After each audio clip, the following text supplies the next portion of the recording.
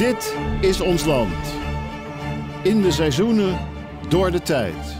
Als je echt wilt weten hoe ons leven voortdurend verandert.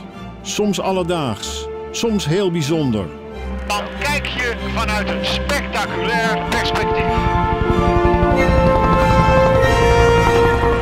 In deze aflevering de strijd om de afbakening van onze eigen plek. Toen en nu.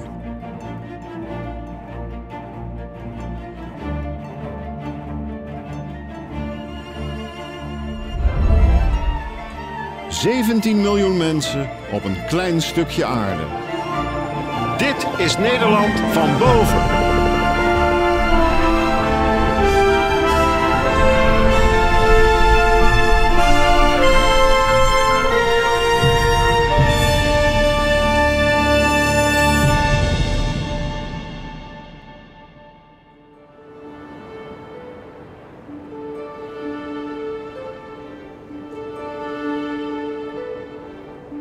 ...23 juli.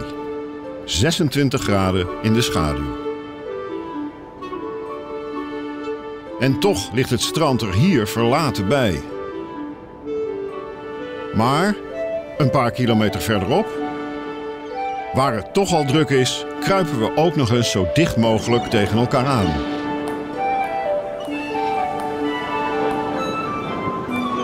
Maar dan wel een eigen domein met een handdoek, windscherm of parasol als afscheiding.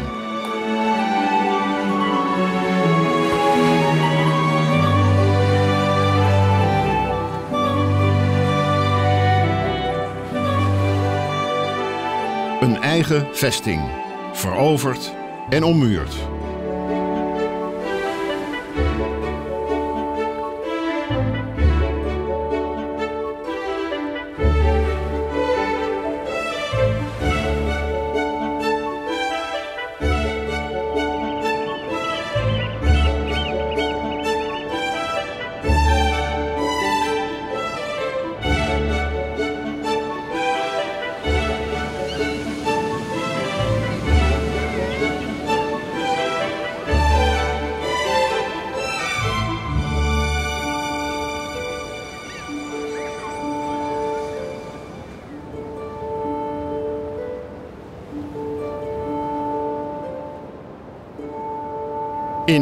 Van boven, hoe gaan we te werk bij het afbakenen van ons territorium?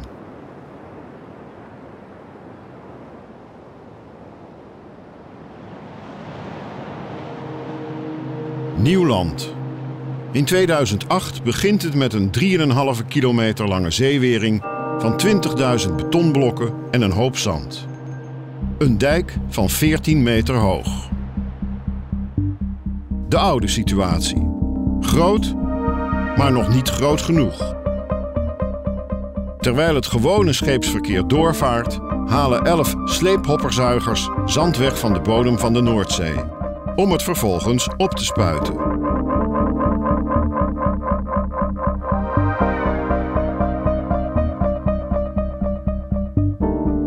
Langzaam krijgt de Tweede Maasvlakte zijn vorm.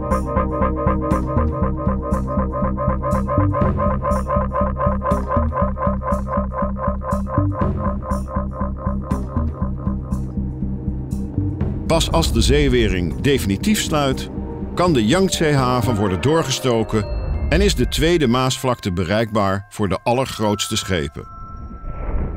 Een ereronde van het eerste containerschip, de Marks Toekang.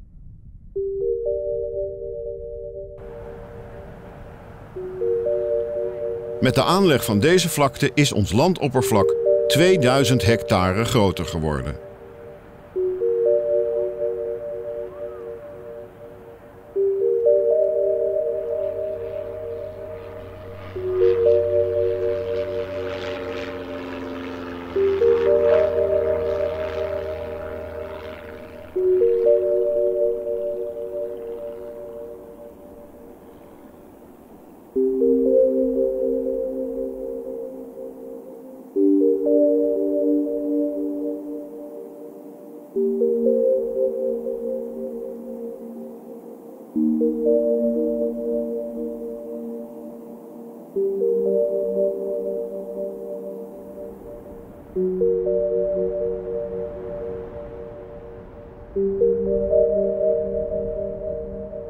Geen volk ter wereld dat het water zo naar zijn hand heeft weten te zetten als het onze. We hebben het zelfs ingezet om de vijand te verjagen. Dit inundatiekanaal is speciaal aangelegd om het land tot op kniehoogte onder water te kunnen zetten. Te diep om doorheen te lopen en te ondiep om te bevaren.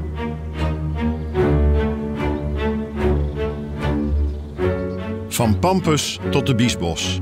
Een 85 kilometer lange verdedigingslinie van forten, bunkers en kanalen. De nieuwe Hollandse waterlinie. In 1815 klaar voor gebruik om aanvallen uit het oosten te kunnen pareren. Vlak voor de Eerste Wereldoorlog was er wel degelijk sprake van een dreiging vanuit Duitsland. Maar toen is de nieuwe verdedigingslinie niet ingezet. Was hij daarom helemaal voor niets gebouwd? Was de aanleg pure geldverspilling of toch niet? Wie dit spionagerapport leest, kan maar één conclusie trekken. De waterlinie dwong groot ontzag af. Sterker, het is niet onwaarschijnlijk dat Nederland buiten de Eerste Wereldoorlog kon blijven dankzij deze waterlinie. Rechtzeitig angelegte Überschwemmungen kunnen die Holländische Befestigungen vast onüberwindlich machen, schrijft de auteur van deze geheime studie van de Duitse generaalstab. Oftewel, inundaties, indien tijdig gesteld, maken de Hollandse verdediging zo goed als onoverwinnelijk.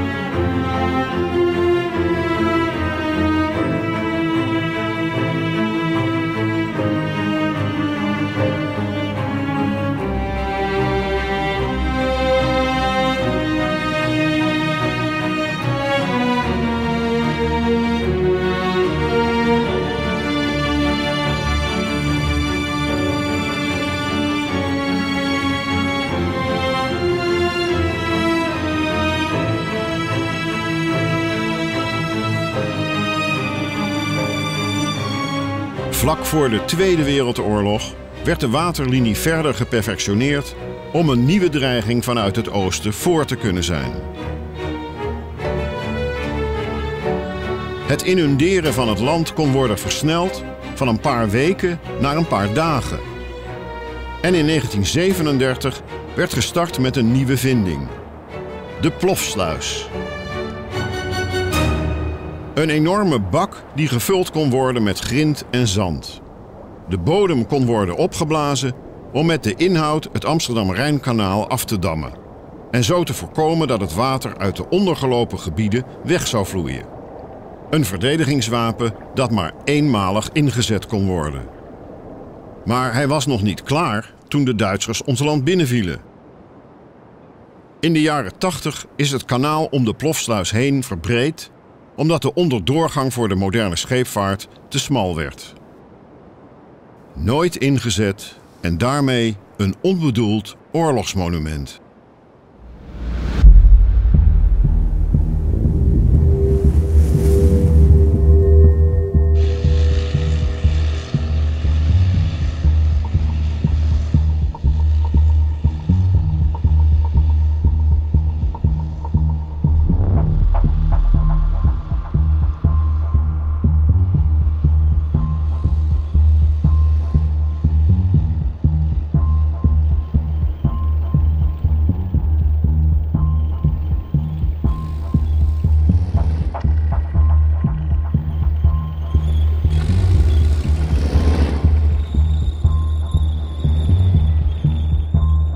Oefenen nog wel, al weten we niet precies meer hoe onze vijand eruit ziet.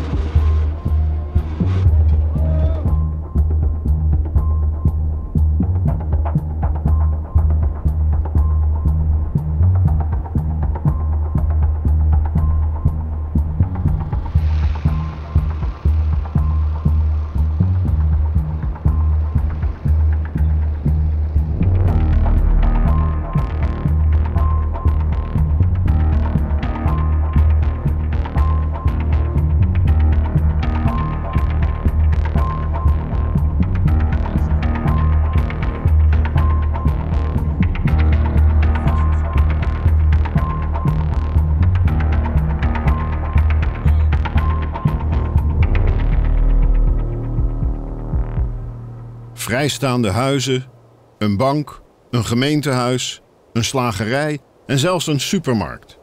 Maar geen mens te bekennen. Een spookdorp waar iedere week zware strijd wordt geleverd. Het grootste militaire oefendorp van Europa. Marnehuizen.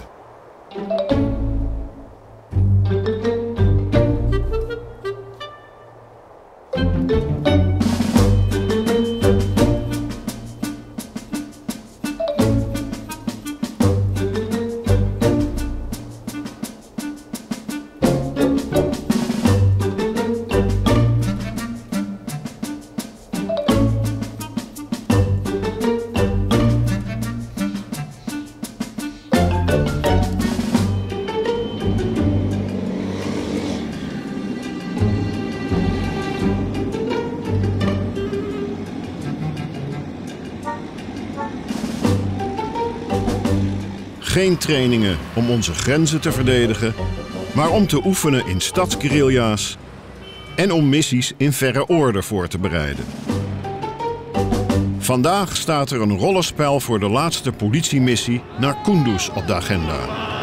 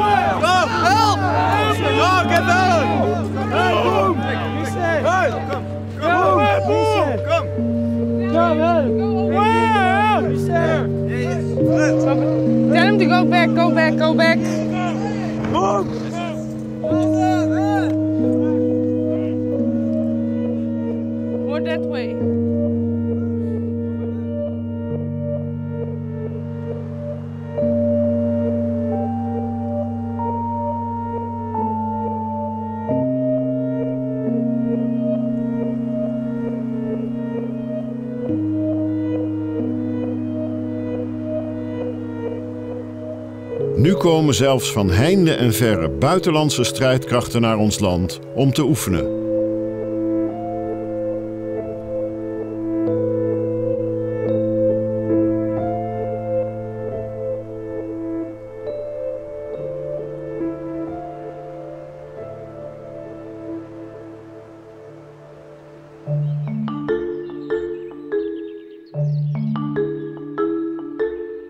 Aan de linkerzijde Nederland, rechts Duitsland.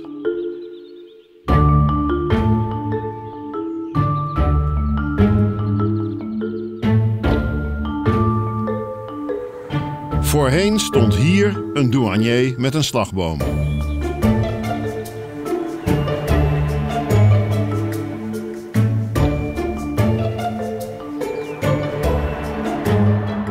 Nu word je alleen nog op de foto gezet.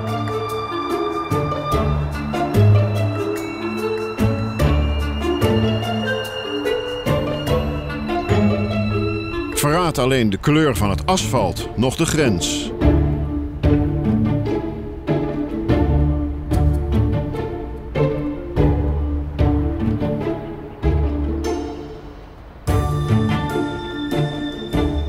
En zie je opeens fietspaden langs de weg verschijnen.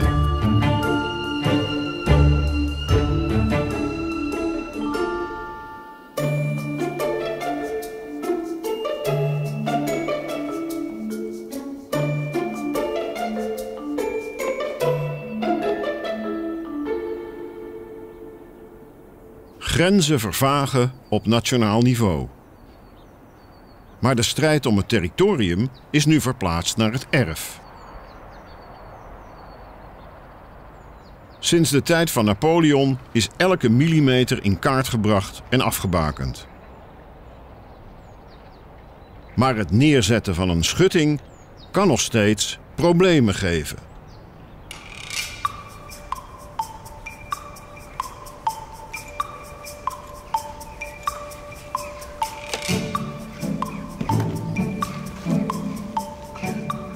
Landmeter Hugo werkt dagelijks op de vierkante millimeter.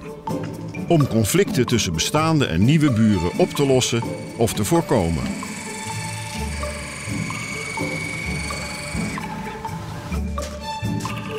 Goedemorgen. Goedemorgen. Goedemorgen. Hugo Brechtman, Goeiedag. kadaster. Goeiedag. Waar het om gaat. Hier is een tekeningetje. We staan nu hier zo en als ik het goed begrijp gaat het om deze grens. Ja, Hier tussen. Dat is wat u wilde weten. ja, ja. Ja, de gebouwen hebben bij elkaar gehoord en ik wil gewoon eh, zorgen dat we daar eh, met een goede buur, een goede buur kunnen blijven. En dat we dat nu doen voordat we dingen gaan doen. Oké. Ik kan eh, aan de weg kan ik een markeerpunt aangeven Ja. van de grens. En dan ongeveer Misschien de hoogte waar we nu staan, Tussen de huizen. ga ik dat ook doen. Nee, er is niets aan de hand. Eh, wij komen hier nieuw en eh, ik vind het heel belangrijk om eh, een goede start te maken met je buren. Eh, dat eh, er geen discussie is over eh, wat is wat. En wij willen er graag een scheiding in brengen, waardoor je je vrijheid hebt met kinderen en wat dan ook. En dan moet je goed overleg doen, dat je daar ook nooit later eh een rijende rechter voor aan de deur moet hebben. Want dat zou ik niet willen. Goedemorgen. Zo, ja, hij is eh, volop aan meter, dus ik denk dat het zo klaar is.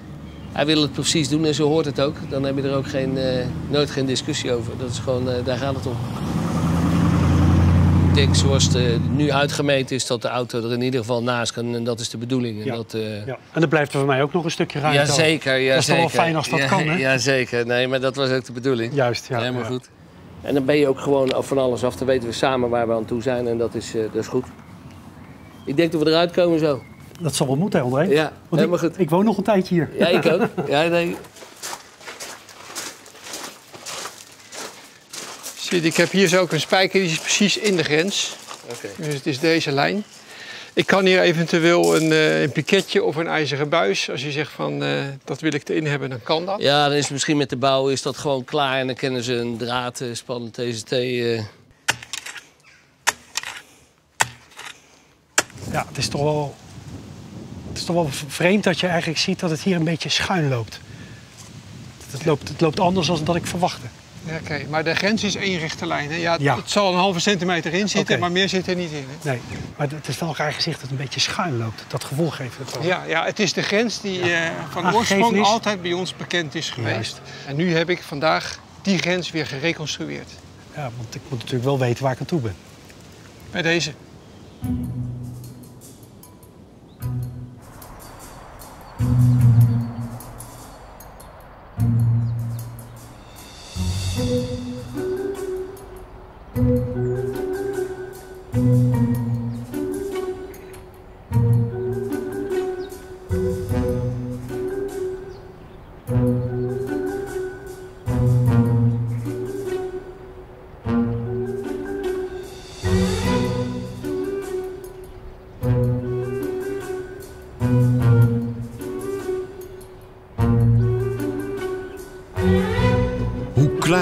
Of hoe groot die ook mogen zijn, wat wij in onze achtertuin uitspoken, maken we zelf wel uit.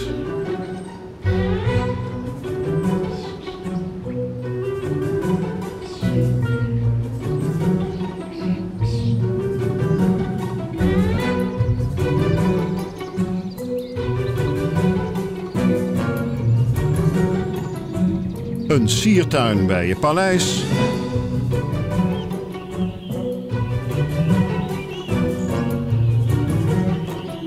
Of een sierpaleis in je tuin.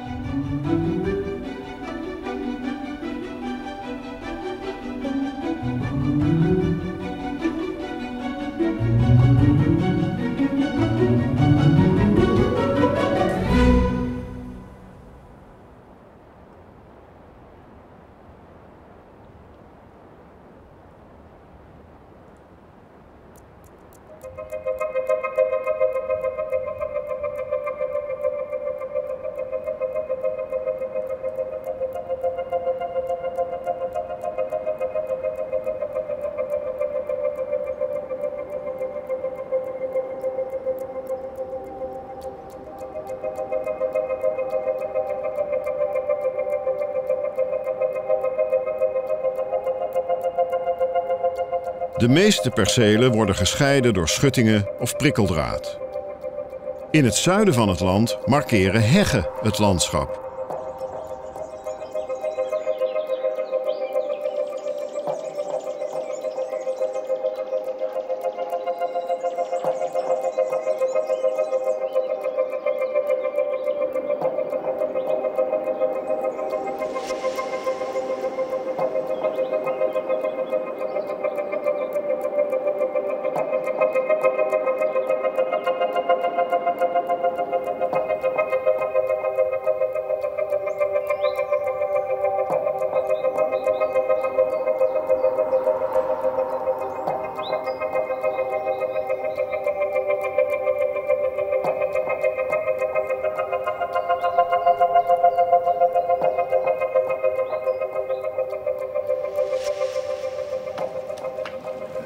Nergens in Europa was er zo'n grote verscheidenheid aan perceelafbakeningen als juist hier in ons land. Maar sinds het begin van de vorige eeuw is er zo'n 225.000 kilometer aan heggen, houtwallen en elzenhagen verdwenen. Overbodig geworden door een Amerikaanse uitvinding, prikkeldraad. Maar hier in het Maasheggengebied wordt het cultuurhistorisch erfgoed opnieuw in ere hersteld. Er wordt weer gevlochten. Er is zelfs een nationaal kampioenschap.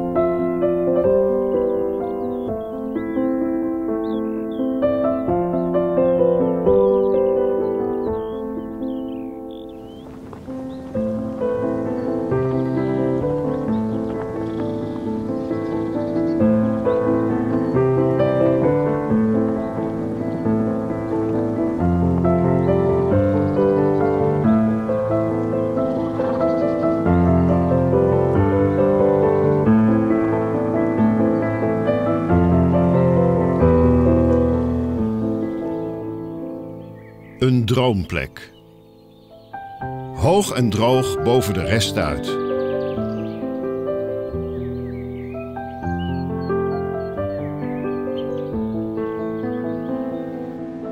Of op de vlakke grond, dicht bij het water. Ieder zijn eigen voorkeur.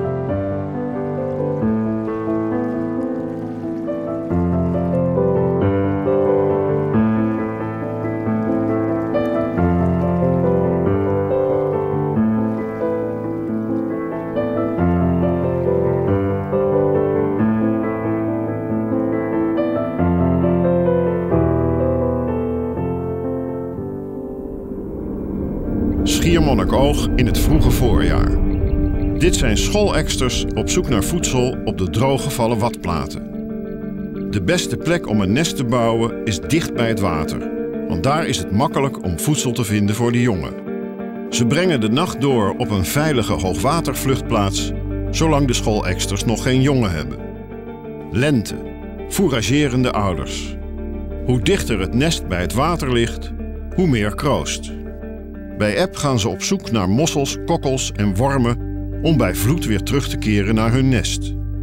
Een patroon van eb en vloed en de vogels die meegaan met het tij.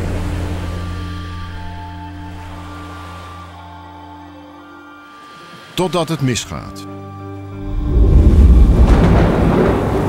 19 juni. Door een late voorjaarsstorm verdwijnen alle nesten in zee. Een heel broedseizoen verloren volgende dag keren de schooleksters gek genoeg terug naar hun territorium dat ze ondanks alles zullen blijven verdedigen. Hopend op een succesvoller nest volgend jaar.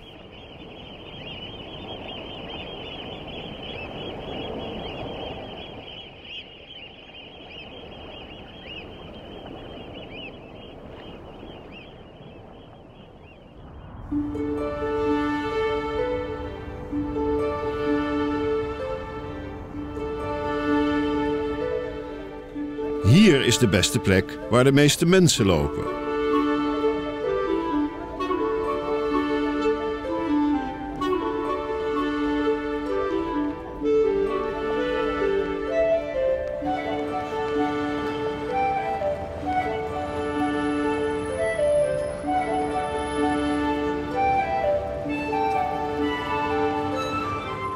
Marktkooplieden moeten dagelijks hun brood zien te verdienen op maar een paar vierkante meter. En dus zoeken ze graag de grenzen op. Iedere uitbouw of extra rekje betekent misschien net iets meer omzet.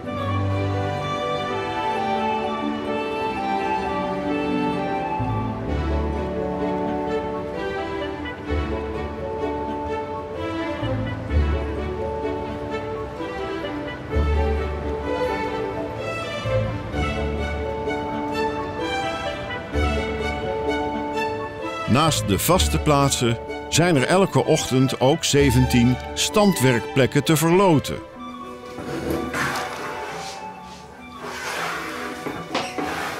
En omdat de kooplui een computer niet vertrouwen, wordt er een ouderwetse bingo-molen ingezet. Morgen. Wat loop je nou liefst naar me te lachen? Nee.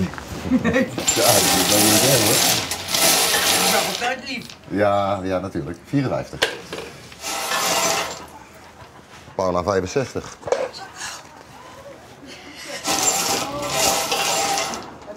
Nel 41.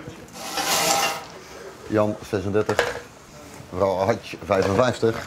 Ik heb eh, totaal 17 plekken. Dus ongeveer 1 op 25 kramen is een uh. En daar komen gemiddeld 35 tot 40 man voor. Dus we moeten er dadelijk een paar naar huis. Iedereen krijgt een nummertje en de winnende nummers mogen een plek uitzoeken. Tijd!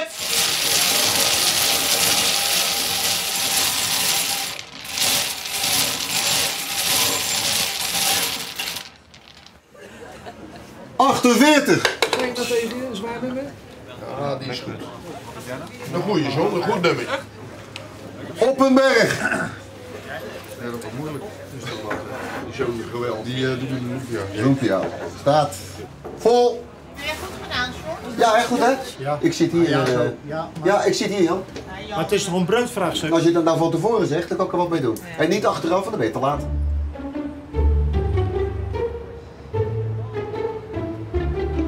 Als de bingo gespeeld is, wacht er voor marktmeester John een nieuw spel om de ruimte.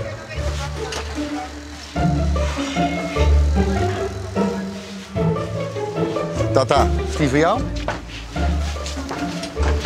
Waarom doe je het nou?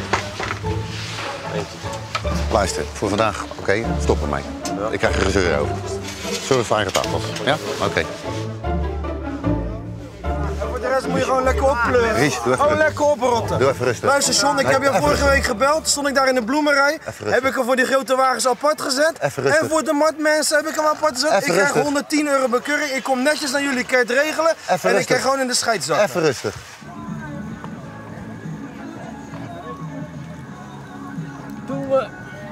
Iedere week hè, bij jou hè? Waarom nou? Ja, een broertje heeft dat gezet. Ja, Net 10 cent. maar jij weet het ook. Haal het alsjeblieft weg. Dankjewel. Vrienden heb ik thuis. En op mijn werk heb ik eh, heel veel mensen waar ik eh, vriendelijk goedemorgen tegen zeg en graag eh, goed mee omga. Tot het moment dat het een keer fout gaat. En dan is de sportiviteit zo dat als je er een keer wat van zegt, dat ze er ook wat mee doen. En soms is de sportiviteit er niet en dan moet je wat vervelender eh, optreden. Liever niet, maar soms moet het wel.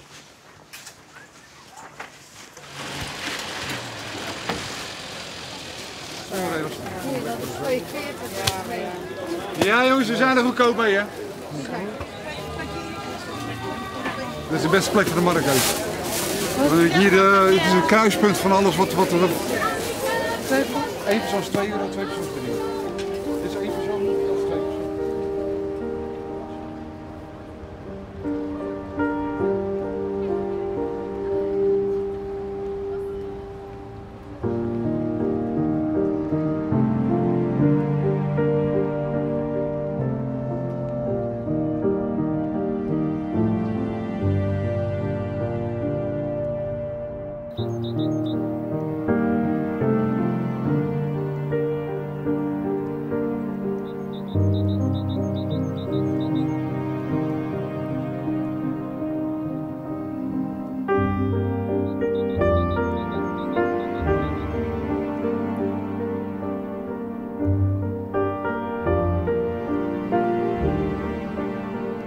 Geen plek zonder strijd. Ieder territorium is door de eeuwen heen bevochten en verdedigd.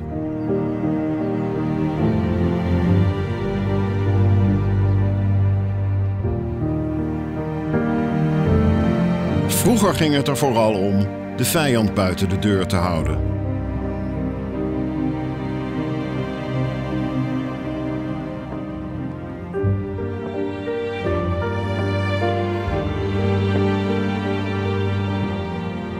Nu voelen we ons op nationaal niveau veilig en is de strijd verplaatst naar verre oorden of naar de achtertuin.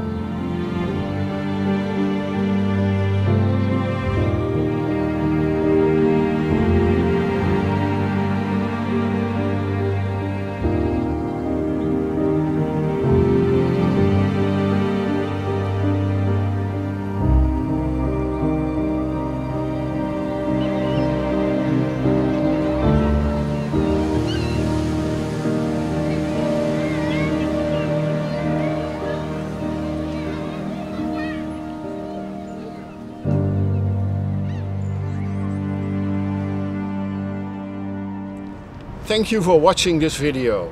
I really hope you liked it. If so, you can watch the next episode right here.